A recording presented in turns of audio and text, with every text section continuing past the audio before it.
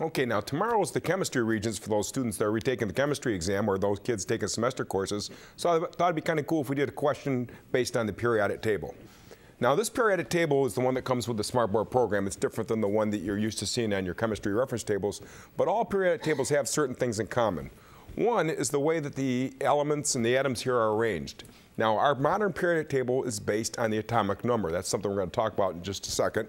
But the atomic number is how these things are all arranged. Now, back in the 1800s, Mendeleev, a Russian scientist, came up with a, a table. He was one of the first ones to do that. What they noticed is that uh, periodically, atoms or, or uh, elements had, had uh, the same type of chemical reactions. And so he started putting those in groups. Now what he did though is he put his in group by mass instead of by the atomic number, which we're going to look at right now. But the atomic number is the number of protons in an element.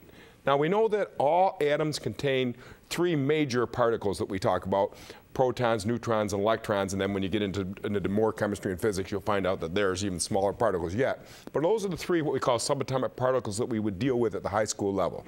So let's take carbon, for example, here. Now, carbon, when I push it, notice comes up, and there's two numbers here. There's a 12 and a 6. Now this 6 is the atomic number. And if you noticed, um, back to our periodic table, we have hydrogen here, which would be 1, helium would be 2, 3 is lithium, 4 beryllium, 5 would be boron, and then 6 is carbon. So notice that these are arranged in order um, of increasing atomic number. Now there's gaps that are left here so that atoms with the same number of valence electrons, which means electrons in their outer shell, would be together, and that's what causes them to have the, the same chemical properties. That's the, the chemical properties, the binding is determined by the number of electrons in the outer shell. Well, with that said, if we look at this whole periodic table, we see there's a little staircase here.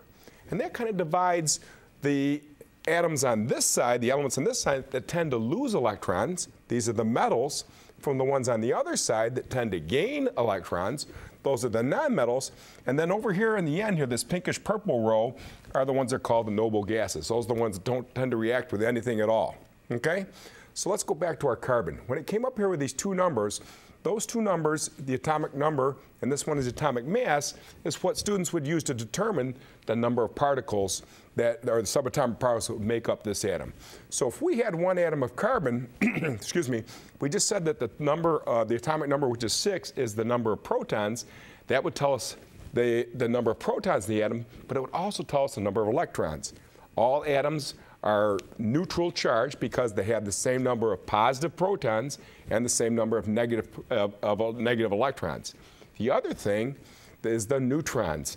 Now to find the neutrons, this number here, the 12, is the atomic mass for this carbon. It's kind of, uh, it's, it's, kind of um, confusing if you, if you think about it this way. This is the number of nucleons. Now in the nucleus, we find protons and neutrons. So the number of protons plus neutrons is the atomic mass, in this case 12. For carbon, the number of protons by itself was 6, so 6 plus 6 would be 12. A carbon atom, a carbon 12 atom also has 6 neutrons. Let's look at one that's a little bit different. We'll go back here to lithium. Remember I said lithium was number 3. Lithium's atomic number is 3, which means it would have 3 protons, also 3 electrons, but we notice its mass number is 7. So 7 minus 3 gives us 4. It would have 4 neutrons. 3 protons, 4 neutrons together seven nucleons or things in the nucleus. And because if this was an atom of lithium, it would then also have three electrons. So whenever you look at your periodic table, know there's a reason why these are arranged, and we'll talk more later about what these different rows stand for and, wh and what, and what that periodic uh, chemical properties we see. But the big thing is knowing your atomic number, atomic mass, and how to find the number of, part, uh, number of subatomic particles.